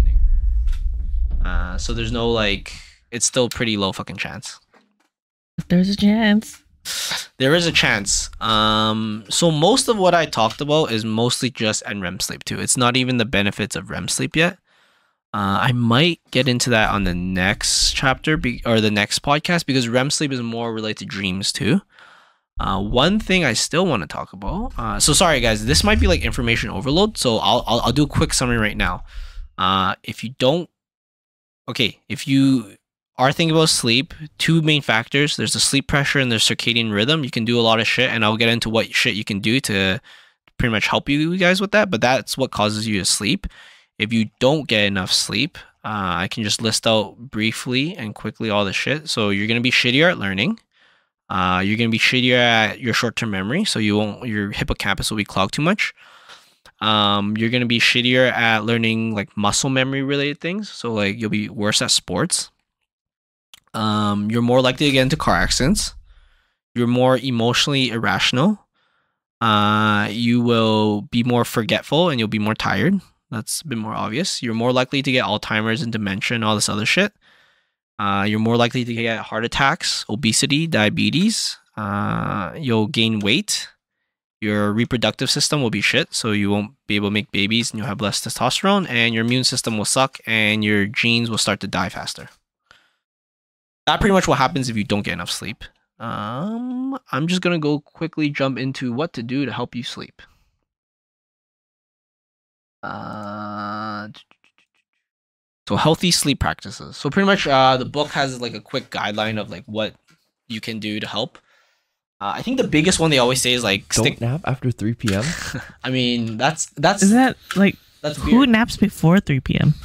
Well, I personally don't trust the 3 p.m. thing, but we'll, we'll just go from from top to bottom. So I think they they list this out in uh, how important it is. So one is stick to a sleep schedule. So I think like the schedule is the most important, and uh, you even changing a schedule for the weekend actually fucks up your week quite a bit. Because you actually just, I mean, I feel like it, happen- it happens to me a lot where I say I'm gonna sleep in on like a Saturday, uh, like a Saturday morning type of thing, but I wake up at my normal work time and I can't fall back asleep. Mm. So like I just like you just can't get that sleep again, right? Um, exercise is good, but not too late. So I think what like exercise is good because it like uh, has a lot of other hormonal effects, but if you do it too late, your core body temperature is too high. Um, it's supposed to be like a few hours before you want to sleep. yeah, so like do it to like at latest two to three hours bef- before you sleep, right? Oops. uh, and that's just to drop your, your core body temperature because like th- that's the whole cir- circadian rhythm thing right uh, it helps you uh, regulate that that body temperature uh, avoid caffeine and nicotine well i mean if you can't avoid it take caffeine like earlier in the day because if you take it too late uh, it might still affect you because that, that affects the whole sleep pressure thing uh, this is a big one for you guys. Avoid alcohol before bed. Um so these are just like 12 What random tips. In the book so like we didn't go completely in the sequence of the book but in next week's episode we'll talk about alcohol and why it affects your uh, sleep. But if you just want the basic information just avoid it before bed. Uh, it's not good. It doesn't actually help you fall asleep. It's not like real sleep. Yeah, yeah. yeah. Uh, avoid large meals and beverage before bed. So the beverage one is so you don't wake up and pee uh, that fucks up your sleep a lot uh, apparently. Oh. yeah. Uh, and then large meals is just because you you get too warm. Uh, your your core your core body temperature is too high. Uh, avoid medicines that disrupt sleep. Don't nap after 3 p.m so this one's kind of weird because like if you're like uh if you sleep later kind of thing then 3 p.m is kind of like an arbitrary number. So it doesn't kind of doesn't completely make sense. That's super weird though. And like, so why why is that though? um well i think they use the 3 p.m is they're just comparing to like normal people like normal people waking up at 8 a.m Oh. and sleeping at a certain time. So then, what's the difference between like napping at like two versus like napping at 6 p.m.? uh so if, uh, i think the obvious one is if you nap too late your adenosine gets lowered so that sleep pressure in your brain goes Oh, away and then fall asleep. Yeah, yeah, yeah. So you, you don't get forced to sleeping as as easily. Uh, relax before bed. Um, take a hot bath before bed. So the big thing about the hot bath or, or hot shower is that your blood vessels go to your skin uh, while you're taking a hot shower, and as soon as you get out of that hot shower, it releases a lot of your core body temperature and it lowers it quite quite a bit. Lowers it isn't that good though? Lowering your core temperature. Yeah, so you want to take a hot shower before you sleep. Uh, so okay, when you when you take a hot shower, your blood goes to your skin because it wants to Oh, this is- release oh, temperature. okay. No, Yeah. I'm yeah. mis- I'm reading this wrong because Yeah. uh, I I thought you're listing you're listing stuff to avoid or like don't do, but it says take a hot bath Yeah, yeah, before yeah. bed. I was like, dude, I do this all the time. yeah, This is yeah. It, it, it, it, it helps quite a bit. Uh, that's usually part of my routine too. Um, for your bedroom, dark, cool, and gadget free. So in next week's episode, we'll talk about like why blue light and shit from your phone and screens and sh- stuff's really bad for sleep. Well, red light. Does it talk about inducing more red light? Um, so I think lights from gadgets in general have some effects, but blue light, the wavelength of blue light has a more significant effect. I heard red light's supposed to promote your body to go into sleep. that's an Uh, example of something that gives off red light. uh, you need like a specific infrared lights, shit yeah. stuff. Oh. Yeah, yeah. Um, like you can have dimmer lights, like like you know, I think these lights are warm colored and stuff. Uh, but blue light itself is, is specifically bad. I'm not too sure about red light. Uh, I think it probably has lower effects. I'm not sure if it's zero effects though. Uh, another one is have at least 30 minutes of sunlight exposure during the day. Um, so I actually heard a lot of podcasts about the whole sunlight exposure thing. I just haven't read up completely about it. Viv, do you know why the sunlight exposure helps? Uh, sunlight exposure helps because it helps increase your cortisol levels during the day. Oh yeah, so then you have more of a yeah. You So it's really good to get natural sunlight right when you wake up, and then that'll kickstart your entire Yeah. circadian rhythm and everything. Yeah, and usually that that light also from devices, but more effective from the sun is it takes away that that melatonin. So like it shuts it off. It just tells the body like, hey, this is no more. Uh, which is why it's bad for you to look at your phone b- before you sleep. It also depends on what time you get that sunlight too, because the sun's rays will be at different intensities during the day. Uh, So it's best in the very morning and then early afternoon. yeah, I think I think for the average person, just getting sun exposure is good enough. I think most people don't. Uh, and the last one is what Rstar was saying uh, in the very beginning. Don't lie in bed awake. Do something that relaxes you instead. So if you can't go to sleep for whatever reason, go um, go do something else, and then feel more relaxed, and then you can go to sleep. Uh, so this is the basics, I guess. The basics of what I talked about. Next week we'll talk about the more intense shit. Do You guys have anything specific you want to talk about here on the basics? I really hope I'm not that fucked because I used to like not sleep at all for a long time. Yeah, I mean, every time. So, like, when you told me about that, we were on the podcast, and I was always so worried. like, not about current Viv, because like current Viv can probably deal with it, but like my biggest worry is the whole dementia thing. That's all. That's like the thing I key in the most to. Yeah. 'Cause that shit's scary, and Mhm. um, Well, like, are you, like basically, it's like, are you even in control of your life anymore at that point, right? yeah. But the other thing is, it's not even are you in control of your life. It's like, are you poisoning yourself, but very slowly.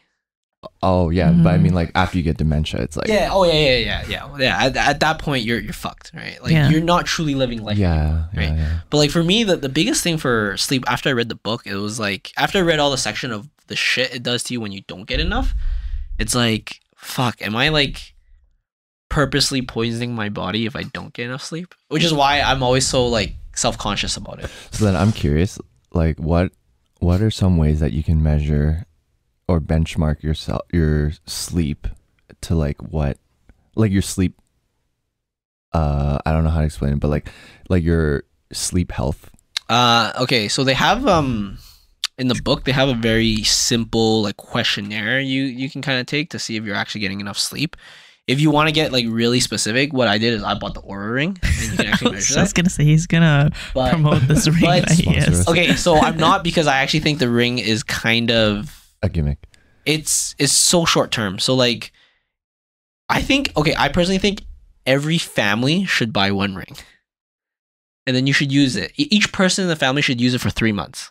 Because I feel like after 3 months of using the ring, you kind of start to get to f- get like a good feel of like what good sleep means uh, or what what good sleep feels like to you and you kind of get a feel like hey this is this is how, how much sleep I should be getting I should be sleeping around this time uh, it's it's cool because it kind of becomes a game. Like you, you like start to like you get sleep scores every night and shit, and you want to get like max sleep score. Mm. Uh, the problem with the Oura Ring is that it's kind of shit because it doesn't measure um sleep that accurately. Like it measures sleep semi accurately, but it I think it undershoots how much sleep you're actually getting. So like some nights I feel like I have like the best sleep ever, and it says I only slept for five hours. And I think from what I researched online, a lot of users are saying that they don't uh they think that when you're moving you could like technically when you're moving you could still be in sleep like in in NREM sleep but the ring thinks you woke up and stuff Mm. Oh. So it, it it undershoots that quite a bit. But if you're like super into it you can get one of like whoop straps or like there's a bunch of devices now.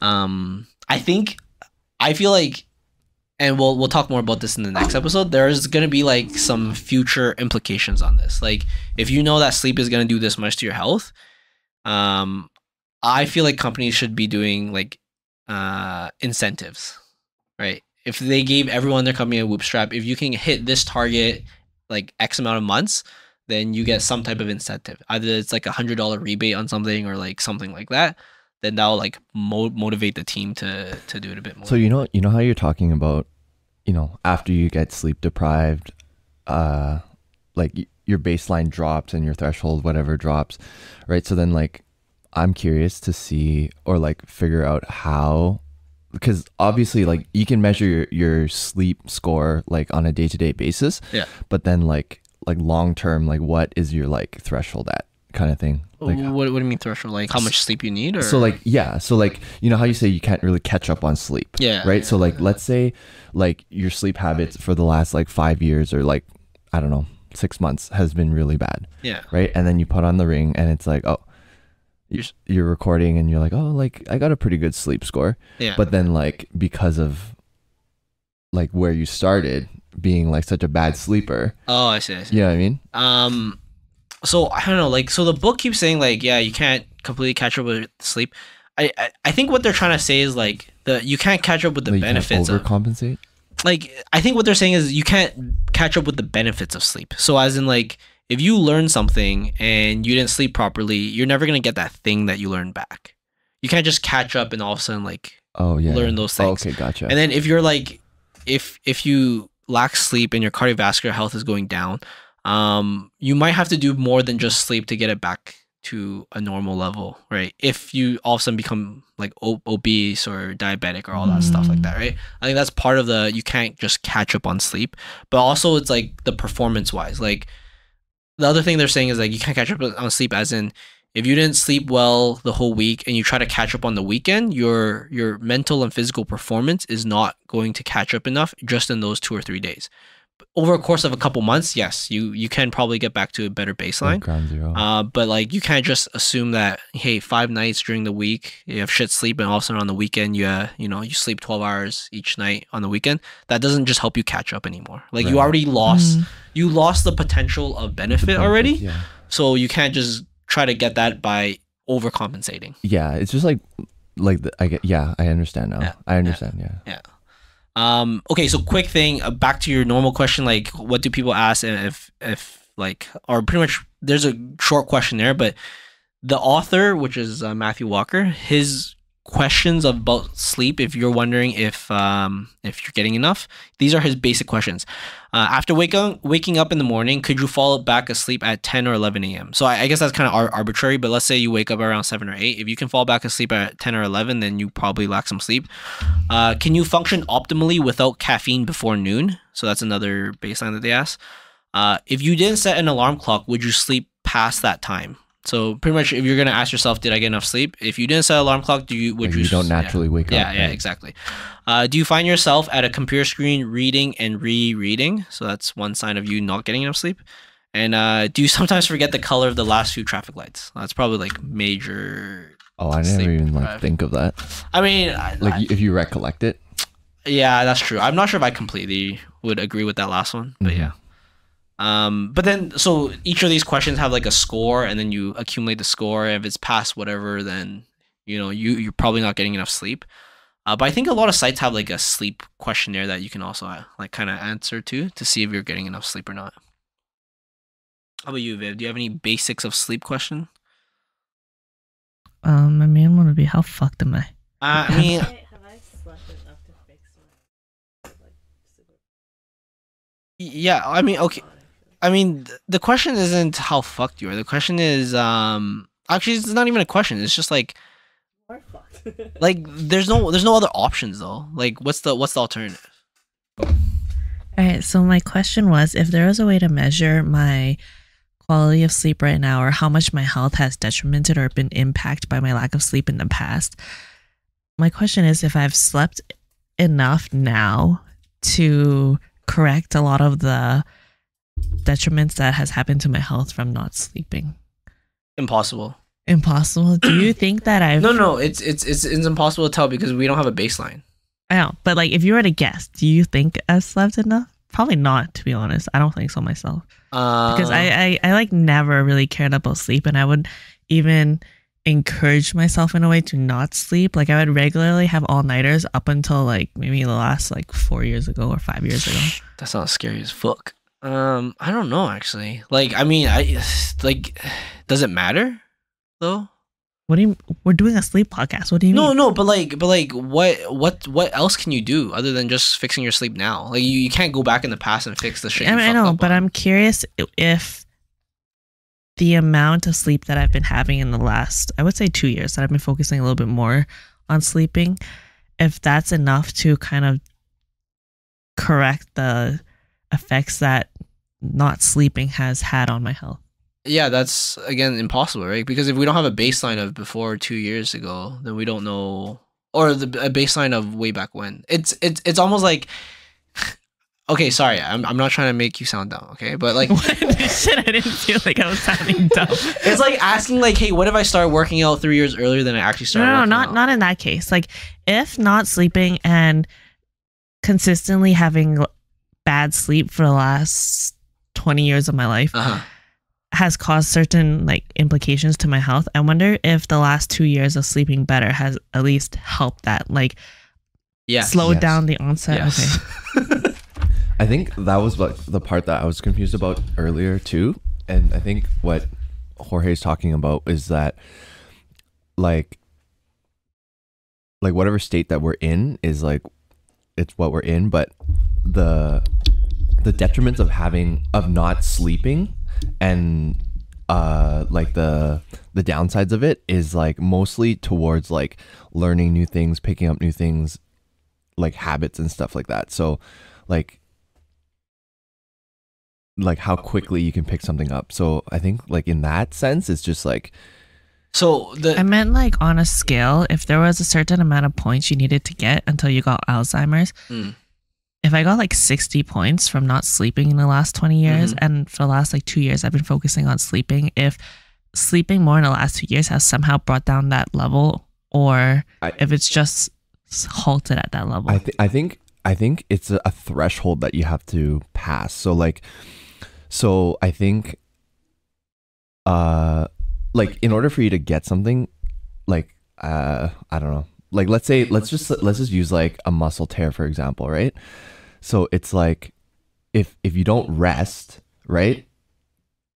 And you just keep working out and you just keep working out like whatever, eventually like you're to get to a point where your muscles threshold like rips or tears, right? And then that's when you have like a muscle tear and that's when like you know, you're beyond repair, right? Mhm. And so I think like getting this like sickness like Alzheimer's, dementia is like probably like that too, like in terms of brain health. So I think like the damage that you possibly did might be like, all right, yeah, your brain is like in this condition, but um like I think you would basically have to like go like I don't even know like you have to do So an if MRI on your brain. If getting Yeah. Alzheimer's was me reaching 100 points, and I currently have accumulated 60 points from not sleeping in the last 20 years, uh-huh. would that mean that in the last two years, because I've been focusing more on sleep, I have halted that process of gaining more points towards 100, or I Mm. wouldn't go back, right?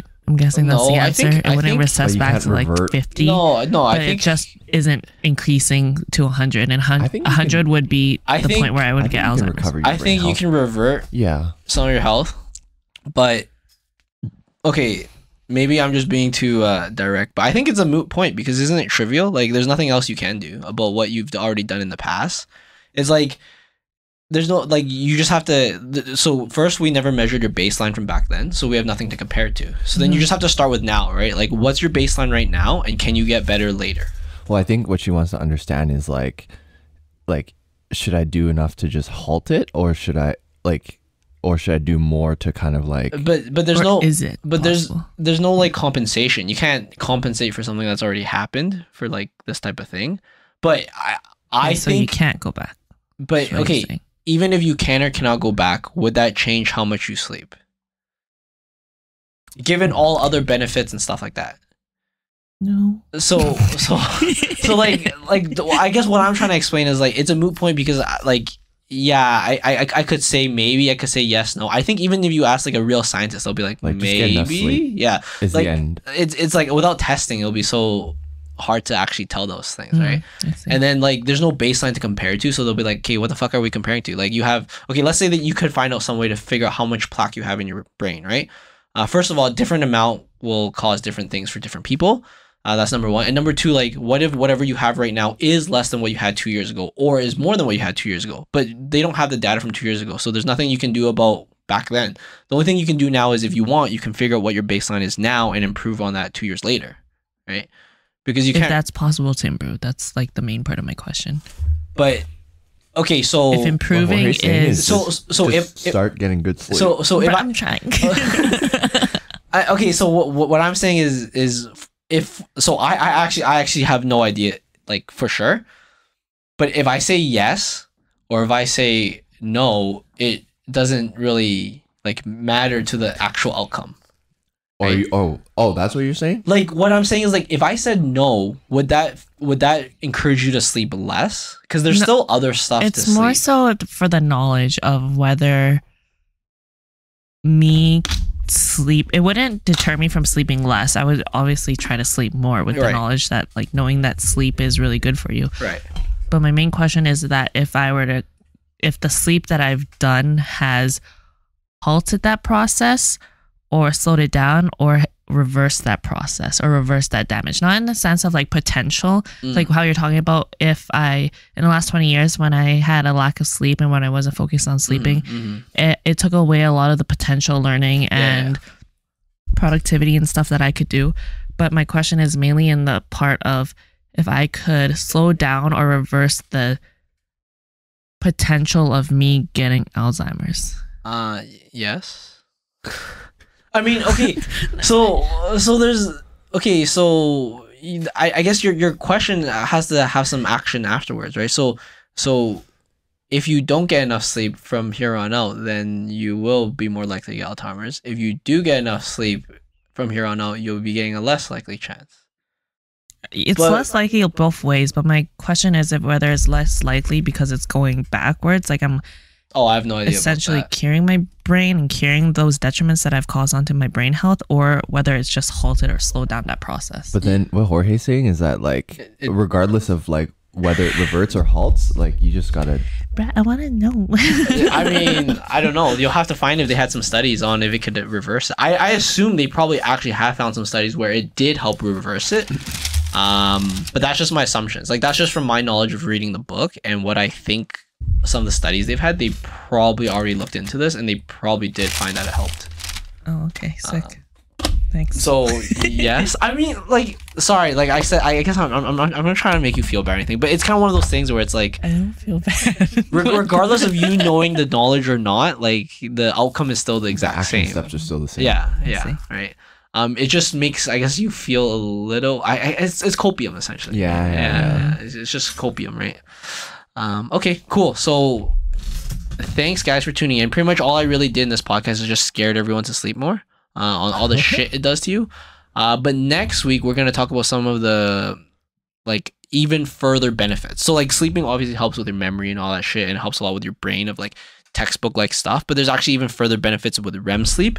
And then we'll talk about some nasty diseases and shit regarding sleep. And then we'll talk a little bit at the end about like the future of sleep, like what's you know future um or what we project or what we hope sleep is gonna be for the future. Uh, so yeah, tune in soon to the next one, guys. Sweet. Thanks for listening. Bye. Bye bye.